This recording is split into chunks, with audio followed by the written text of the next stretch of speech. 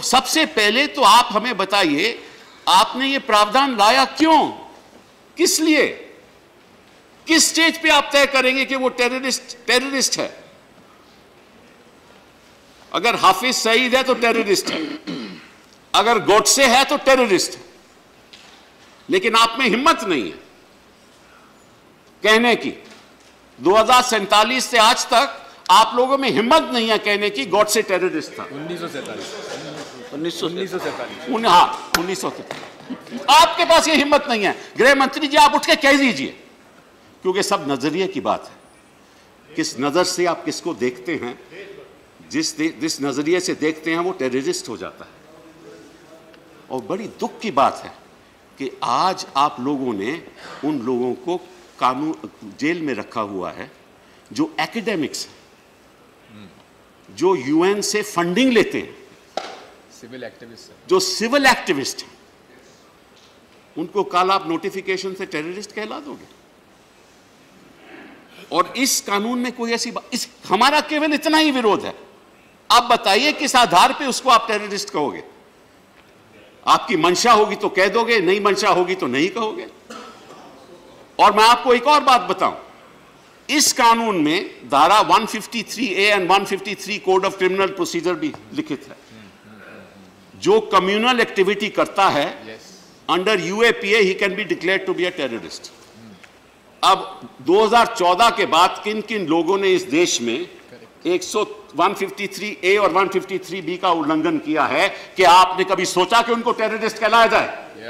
Correct yeah, आप कभी सोचेंगे भी नहीं बिकॉज़ आपका नज़रिया दूसरा है। करेक्ट आप केवल उन लोगों को टेररिस्ट दिखाएँगे जो आपके खिलाफ बोलेगा। ये अगर जेएनयू में कुछ हो गया कुछ युवाओं ने कुछ कर दिया, उनको आप टेररिस्ट दिखा देंगे।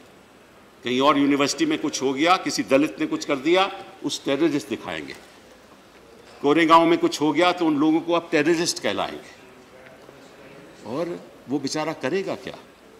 तो पहले तो आपको ये स्पष्ट करना चाहिए, किस आधार पे आप कहोगे कि ये शख्स टेररिस्ट है और ये शख्स टेररिस्ट नहीं है। आपको यहाँ बताना पड़ेगा। मैं ज़्यादा वक्त नहीं लूँगा दो चार बातें आपके सामने कहूँ रखूँगा कि एक बात का हम आपको दाद देते हैं कि जहाँ तक आपकी बात है you get what you see and you see what you get लेकिन आप, हम आपको एक आश्वासन देना चाहते हैं कि from here this side also you will get what you see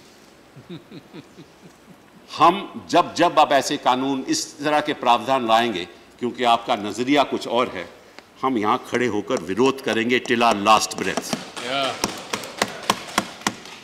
आप हमारे पीछे सीबीआई लगा दो। आप हमारे पीछे ईडी लगा दो। आप हमें जेल में भेज दो। आप इनकम टैक्स लगा दो लेकिन यहाँ हम खड़े रहेंगे और हम आपका विरोध yeah. हमने देखा है कि पिछले दिनों में किस तरह से आप लोगों के पीछे दुरुपयोग कर रहे हो कानूनों का।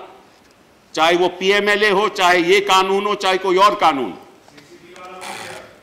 मतलब कि ऐसा लग रहा है हम इस देश में कि एक चेहरा, एक बिजनेसमैन सब कुछ केवल एक आदमी के नाम पे। कोई दूसरा तो हमें दिखता ही नहीं है। तो मैं आपसे आग्रह करूँगा गृह मंत्री जी, कि आप केवल न सोचिए कि हम यहाँ चुप रहेंगे।